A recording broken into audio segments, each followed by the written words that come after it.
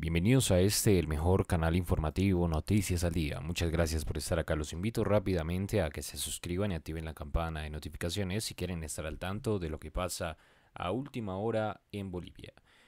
Gremios del transporte, médicos y comerciantes informales anunciaron un paro indefinido contra el gobierno de Luis Arce desde el 8 de noviembre piden que el Ejecutivo derogue eh, la ley sobre Estrategia Nacional de Lucha contra la Legitimación de Ganancias Ilícitas y el financiamiento eh, de lo que pasó. Recuerde dejar un comentario en este video y un me gusta también para apoyar a nuestro equipo investigativo de antemano. Muchas gracias. Varios sectores y gremios del transporte, médicos y comerciantes informales de Bolivia anunciaron que entrarán en paro indefinido desde el 8 de noviembre si el gobierno no abroga la ley sobre estrategia nacional de lucha contra la legitimación de ganancias ilícitas y el financiamiento. Desde el paro cívico del 11 de octubre y las movilizaciones del día 21, los líderes sindicales y gremialistas ya habían advertido con tomar nuevas medidas de fuerza si el gobierno no los escuchaba o derogaba completamente la también conocida como Ley Madre, que fue aprobada en agosto pasado. Desde ya sectores oficialistas han rechazado el paro, el llamado al paro y lo ven como actos para desestabilizar al gobierno de Luis Arce que precisamente el 8 de noviembre cumple un año en la presidencia del país. El secretario ejecutivo de la Confederación Nacional de Trabajadores Gremiales de Bolivia, Francisco Figueroa, afirmó a medios locales que se dará un plazo de siete días para que el gobierno derogue la ley 1386 o de lo contrario irán al paro indefinido. Los detractores de la ley madre eh, consideran que con esta norma el oficialismo busca imponer un totalitarismo económico y financiero en contra del pueblo boliviano. Vamos con más Información. El Comité Nacional de Defensa de la Democracia también señaló en un comunicado que el gobierno debe atender de forma afectiva las demandas de los indígenas de la Amazonía y el oriente de Bolivia que marcharon durante más de un mes hacia la ciudad de Santa Cruz y que en reiteradas ocasiones han solicitado reunirse con el presidente Arce.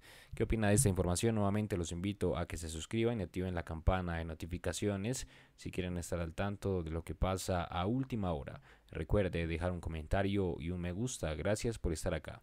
Noticias al día.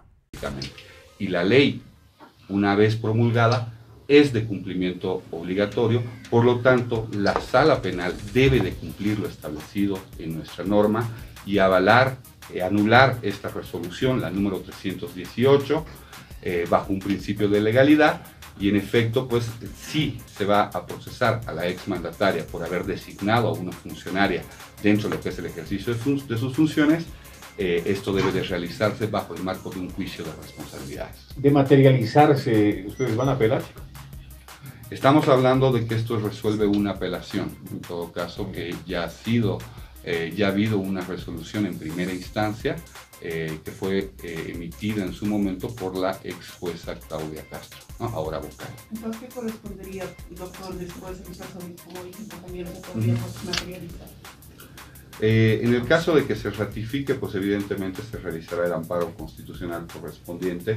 Sin embargo, ya estaríamos hablando de un antecedente completamente nefasto y una puerta abierta para ordinarizar cualquier acción que haya sido realizada por parte de la ex mandataria de Estado bajo la vía ordinaria. Doctor, ¿se busca una jurisprudencia tal vez para procesar a Yanine Áñez eh, en otros casos por la vía ordinaria?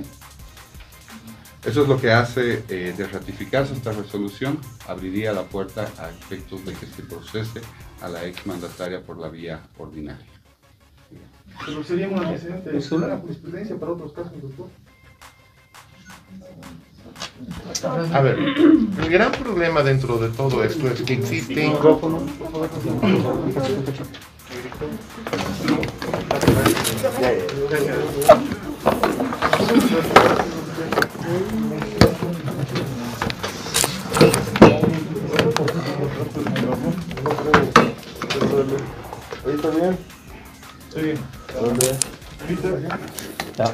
No es jurisprudencia, porque jurisprudencia ya son fallos definitivos. Aquí de lo que se está tratando es de una forma por la cual se le quiere llevar a Yanine Áñez a juicios ordinarios. No se olviden que en este momento existen cuatro requerimientos acusatorios que están en todo caso en trámite de aprobación ante la Asamblea Legislativa Plurinacional.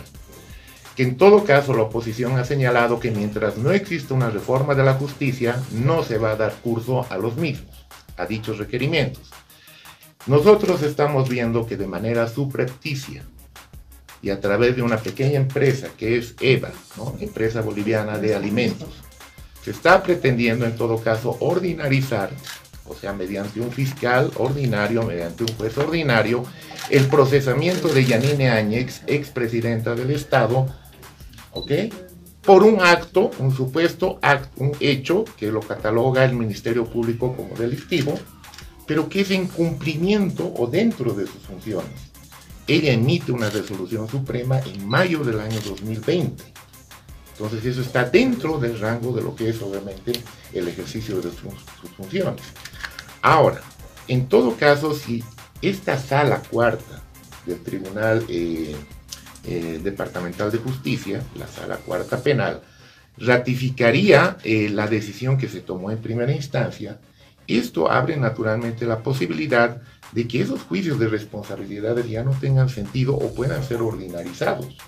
Ayer hemos escuchado nosotros las expresiones de un diputado que ha señalado textualmente que no tengan a las víctimas de esa cava, que no tienen que tener en todo caso eh, ninguna pena porque Yanine Áñez va a ser juzgada en la vía ordinaria. Si esto se materializa esta tarde, que ese es el peligro, obviamente, estaríamos básicamente ante el quebrantamiento del Estado de Derecho. ¿ah? O sea, lo que decía aquí el doctor, o sea, ¿para qué está la Constitución? ¿Para qué están las leyes que se han aprobado por las cuales, en todo caso, se establece un procesamiento ¿no? especial hacia exmandatarios de Estado? Si esto ya no va a estar obviamente vigente, si esto no se va a dar curso, estamos hablando de un quebrantamiento del Estado de Derecho. En caso de concretarse esta resolución, ¿qué acciones podrían asumir? ¿Qué corresponde posteriormente, doctor? Hay muchas acciones. El doctor Guillén ya ha mencionado, puede que interpongamos un amparo constitucional. Naturalmente que no vamos nosotros a quedarnos eh, en la inacción. Pero eh, lo fundamental yo creo, eh, y básicamente en la, conferencia de prensa va a esto, es el peligro latente que, pues, puede ocurrir y materializarse esta tarde. Em, ese, es, básicamente nuestro, nuestro temor, nuestra denuncia, nuestra alerta en todo caso, de que el Estado de Derecho está en peligro de ser quebrantado. ¿Cuál es la situación en este momento de Janine Áñez? ¿Cómo se encuentra únicamente? ¿Cuál es su estado de salud? Definitivamente se han paralizado la presentación de recursos legales. Ten en cuenta que ya se han perdido varias batallas jurídicas. En este momento la situación de la exmandataria es estable, así lo mencionan los informes médicos. Pero estable, como ustedes saben, es una situación que en todo caso no da lugar obviamente a una conclusión de salud óptima o adecuada eh, es una situación que obviamente puede agravarse o puede mejorarse eh, en el transcurso del tiempo.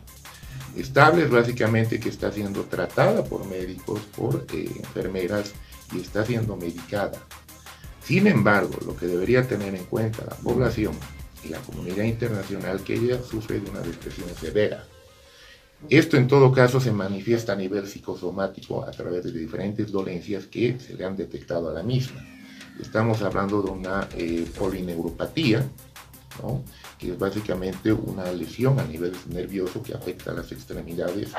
Estamos hablando de una neuropatía, que es una dolencia en el corazón. Estamos hablando además también de su eh, hipertensión eh, arterial, que es prevalente.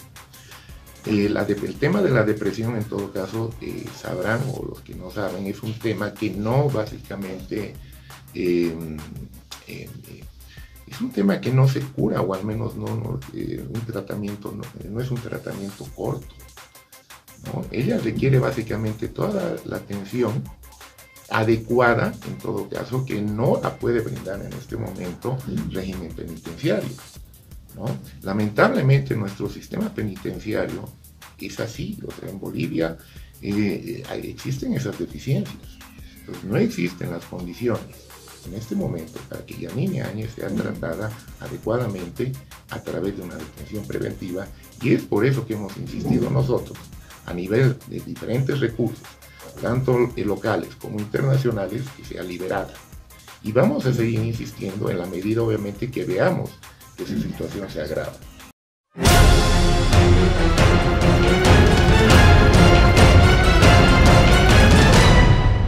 Si no te quieres perder de los últimos acontecimientos que pasan en el mundo, suscríbete y activa la campana. Somos Noticias al Día.